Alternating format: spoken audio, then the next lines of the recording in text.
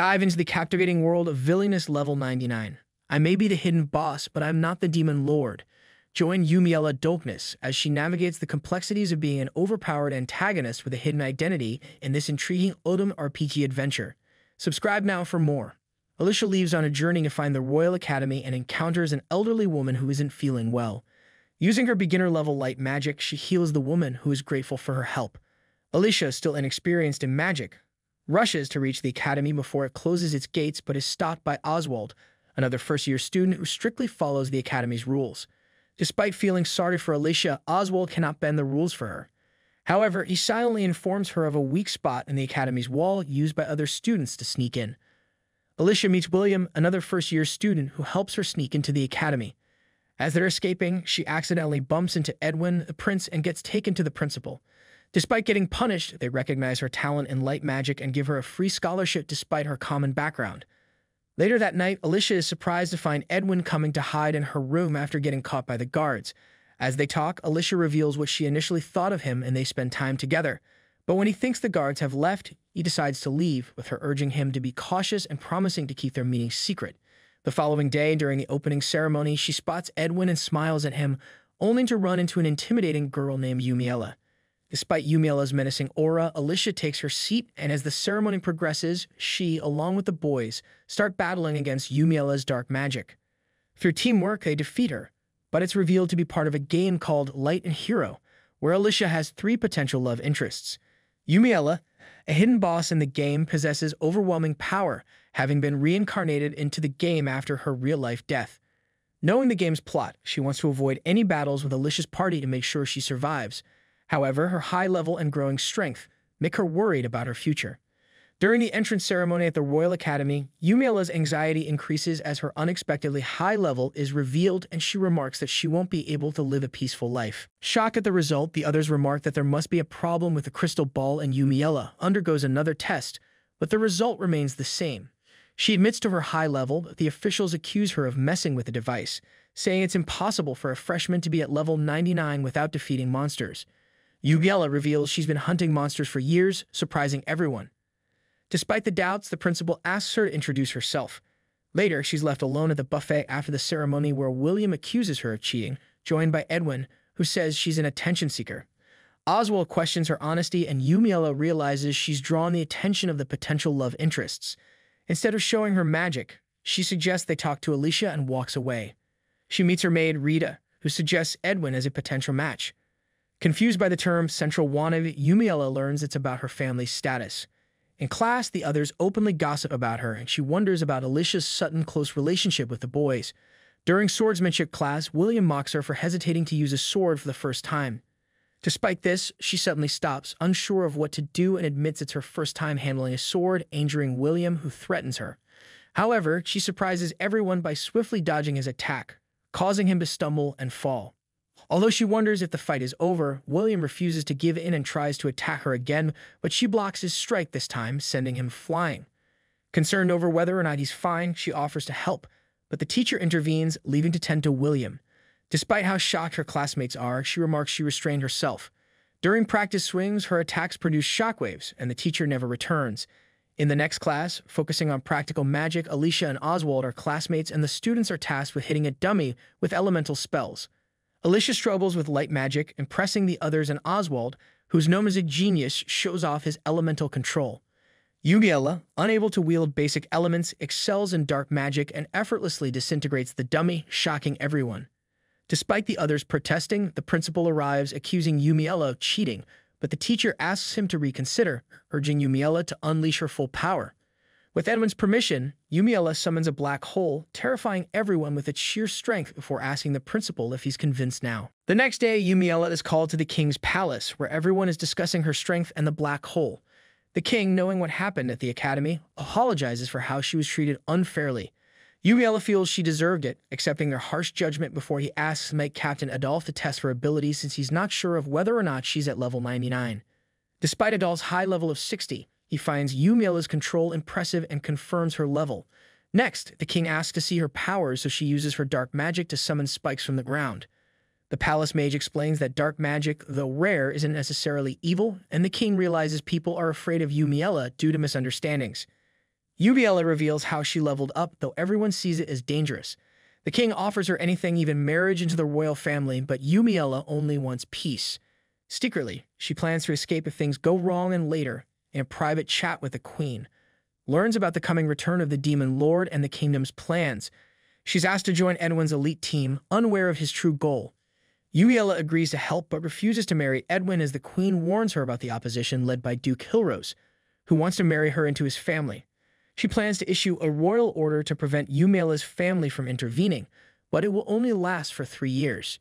Yumiella sees this as enough time but knows she must handle her family after graduation. The queen advises her to avoid the anti-king faction due to her attracting foreign attention. Back home, Rita offers Yumiella a marriage album, but she declines, choosing tea and enjoying pastries from the queen. At the academy, Yumiella notices girls becoming friends with her post-royal summons, while Alicia's bond remains unchanged. Boys apologize but distance themselves. Yumiella receives letters from boys trying to date her, noting those aligned with the king are normal but the anti-king members are forceful. One boy asks her to marry him for unification, but Yumiella declines. He claims he's smarter but hurriedly runs away when she mentions some consequences. Avoiding him, she encounters Eleonora, who invites her to a tea party. Unsure of how one socializes, she reluctantly attends despite finding her annoying. There, Eleonora urges her to give up on Edwin, declaring that she isn't worthy of him.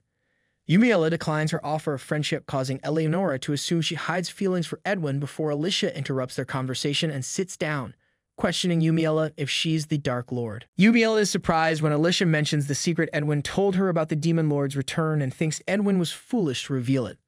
Alicia, suspicious because of Yumiella's dark magic and black hair, believes she's the Demon Lord, but Yumiella denies it before William and Oswald interrupt, worried for Alicia's safety. Edwin confirms the Demon Lord's returning and William accuses Yumiella of it. She denies this, proclaiming that she's just a student, so he tries threatening her, but she refuses to back down.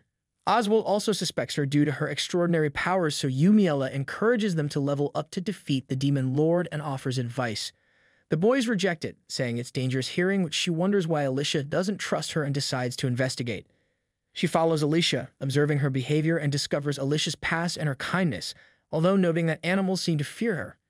Patrick sees Yumiella, but she pretends not to notice him as Alicia, studying with Edwin, describes Yumiella as a dark creature, increasing her suspicion.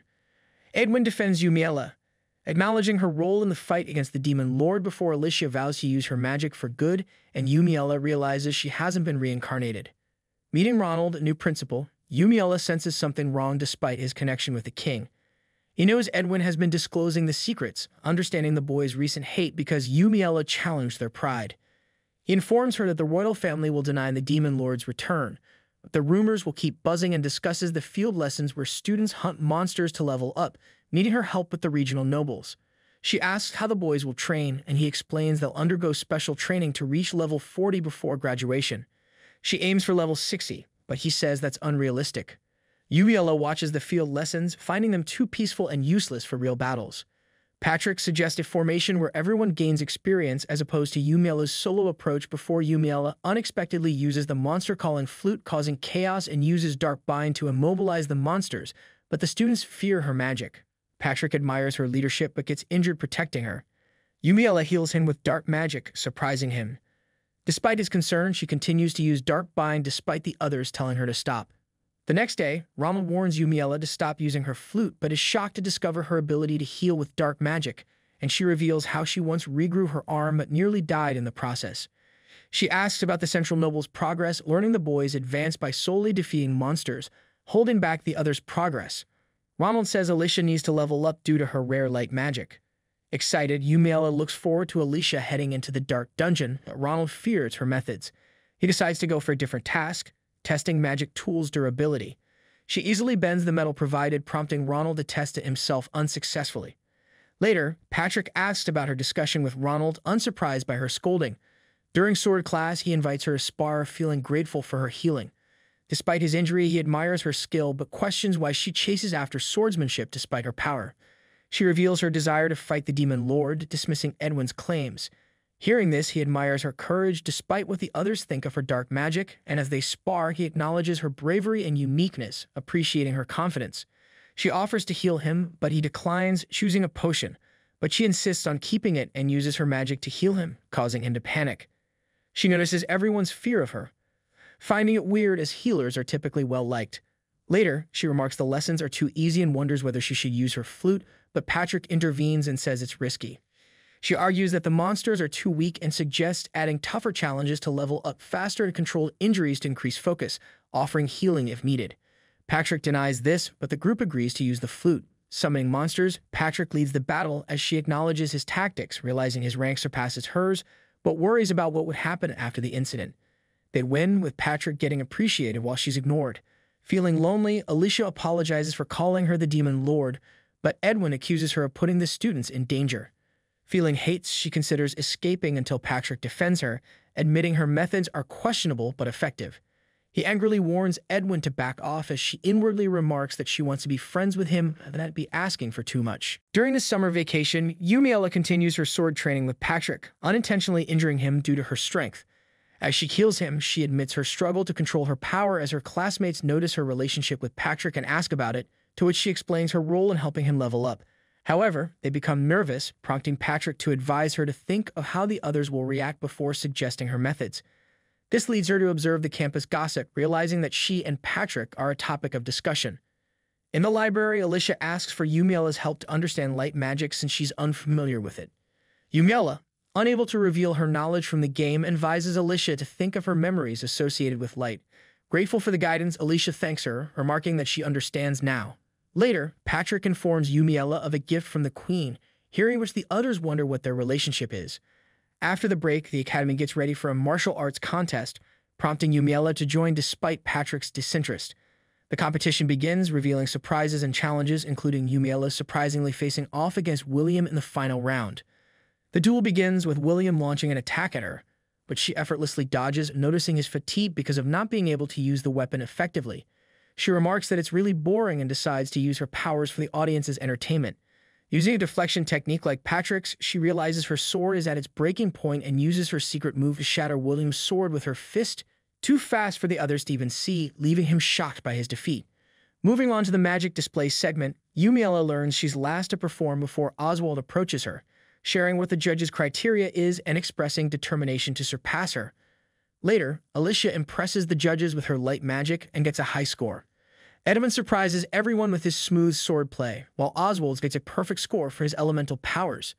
Yumiella, not having a plan and confused by Patrick's distance, unleashes her power, summoning a massive black hole, making the audience panic. The referee hurriedly tells her to stop it and get a score of 30, which she reluctantly accepts and wins the amulet, but later, Patrick questions if she really needs it, so she wonders if she should show him how strong her power gets with it. As Yumiella reaches the end of her first year at the academy, she notices the fear still present from her previous summoning of a black hole during the martial arts competition. While Patrick remains the only person to actually interact with her, she's happy to not be harassed by the other boys. However, Edwin accuses her of being involved in Alicia's missing belongings. Denying this, Yumiella is defended by Patrick, who starts telling Edwin off for his baseless accusation. Hearing this, he reluctantly leaves, declaring that he'll investigate other students. Thinking of her in-game bullying of Alicia, Yumiella suspects someone else is targeting her. Aware of the other's hate for Alicia's common background, Yumiella intervenes when she catches a girl trying to steal Alicia's books, so the girl reveals she's acting on Eleonora's orders. Visiting Eleonora, Yumiella denies these suspicions, aiming to protect the one behind this. In a Tea Party imitation, Eleonora, connected with the anti-king faction, asks for Yumiella's company, which she reluctantly agrees to, worrying about Eleonora's true intentions. Eleonora tests her with cookies, impressed by Yumiella's honesty. Discussing Edwin, Eleonora asks for help aid, unaware of Yumiella's confused feelings. A while later, Patrick shares his positive view of Eleonora with Yumiella, asking her to reconsider her opinion of Eleonora. Although he invites her to the year-end party, she declines, saying it's useless for the high society before remembering the game's narrative, where Alicia selects her romantic partner at the party. Yumiella wonders if she should attend to find out who Alicia's choice is. Eleonora unexpectedly approaches Yumiella about her dress for the party, suggesting she should accompany Patrick and offering her help in selecting a dress. Returning home, Yumiella discusses the need for a dress with Rita, who reveals her childhood dresses which aren't suitable for the occasion. Despite considering skipping the event, a delivery arrives from the Queen, surprising Yumiella. At the party, she arrives wearing the Queen's gift, surprising everyone there. She observes Alicia's interactions and thinks of who her choice will be, but Patrick, surprised by her stunning looks, suddenly starts viewing their relationship differently. Uncomfortable in the dress, Yumiella remarks she should leave before Patrick asks her to dance. Initially awkward, she gradually enjoys herself and Patrick is about to say something before a boy approaches Yumiella and asks for a dance. She answers that she only likes boys stronger than her hearing, which the boy hurriedly flees, and Patrick depressingly repeats what she said. Since the term is going to end quickly, Patrick decides to invite Yumiella to the Margrave's domain, but never gets the chance to do that.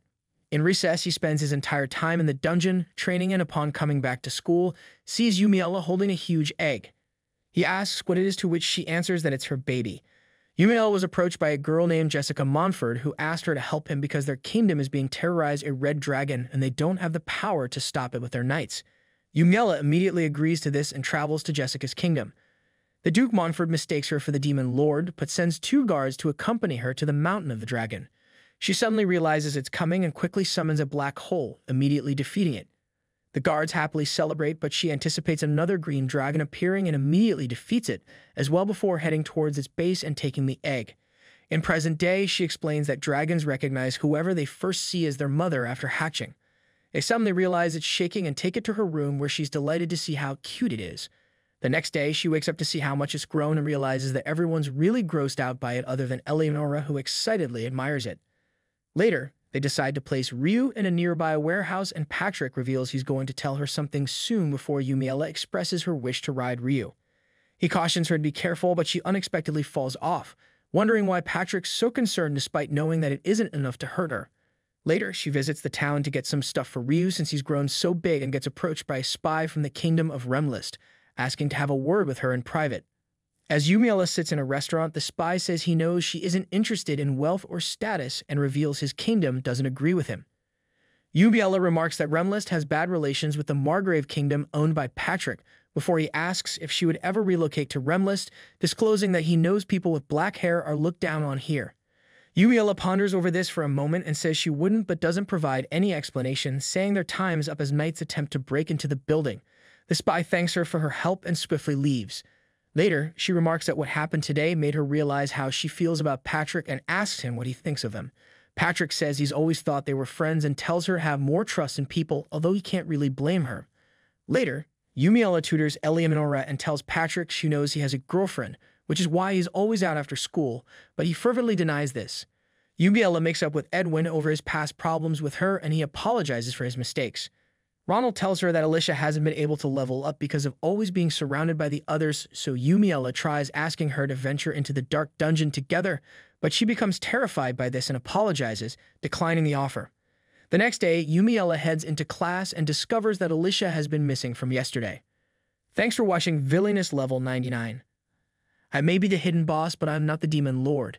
Don't forget to like, share, and subscribe for more exciting episodes. Make sure to comment what you liked about Yumiella Dolkness's journey to reclaim her peaceful life and her struggles with fitting in. See you next time.